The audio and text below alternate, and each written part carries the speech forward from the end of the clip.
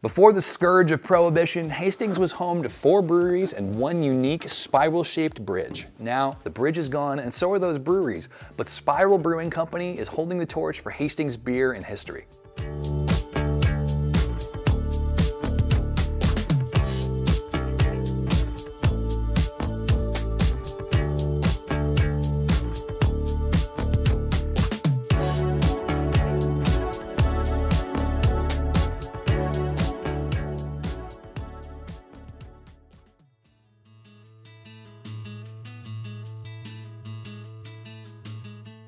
When Nick and Amy and I were dreaming about opening Spiral Brewery several years ago, we really didn't have a craft beer scene in Hastings or in this region in Minnesota.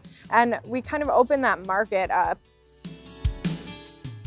We wanted to create a space where people could come into our tap room and learn about craft beer.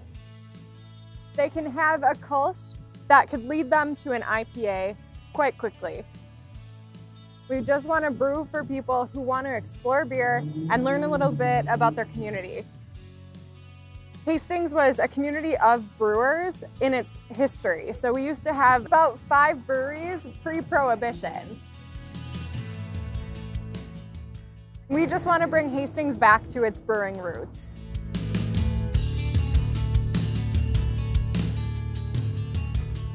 My motto for every beer that comes out of the tap room is after you finish one pint, you should want a second one. Maybe you shouldn't have it. You should still want it because it should have that drinkability that you're able to kind of keep going.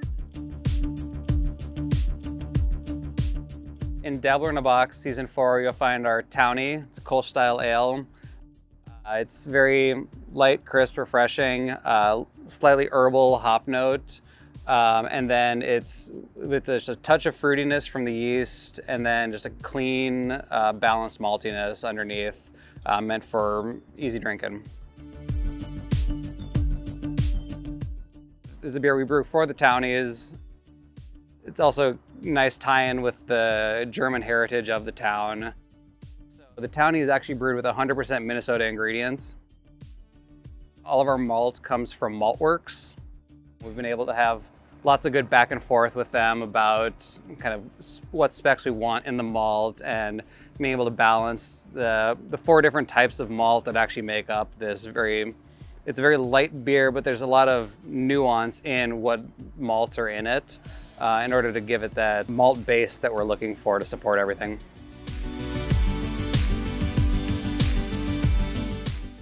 For me, brewing with local ingredients is important to me from a standpoint of sustainability, but also there is a flavor component that is important. Whenever we're making a beer, it's about flavor in the end.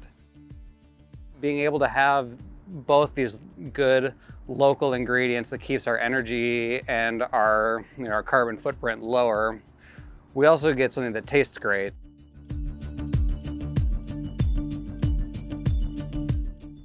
One of our year-round beers that we are very proud of, but it doesn't get its chance to shine in the summer, is our Hard Left. I like to describe it as a half milk stout, half oatmeal stout, half American stout. It's got a little bit of the sweetness, a little bit of that smoothness like the oatmeal stout, but it's frankly, it's too hoppy and whatever to be either of them.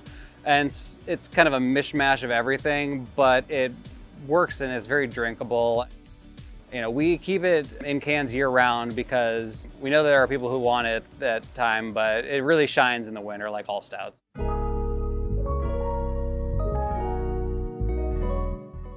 You can find our beers on the shelves of local liquor stores um, in four packs, just like this townie here. Um, but you can also find our Mississippi Fog Hazy IPA, which is named for the fog that takes over the Mississippi River that's directly behind our building that you can see off of our rooftop patio, or our Downward Spiral IPA, or our Hard Left Stout on the shelves of your local liquor store. If you want to find out where to find them, you can go to our website, spiralbrewery.com slash our beers. Thanks for visiting Hastings. Thanks for visiting Spiral Brewery. I can't wait to see you again. Cheers.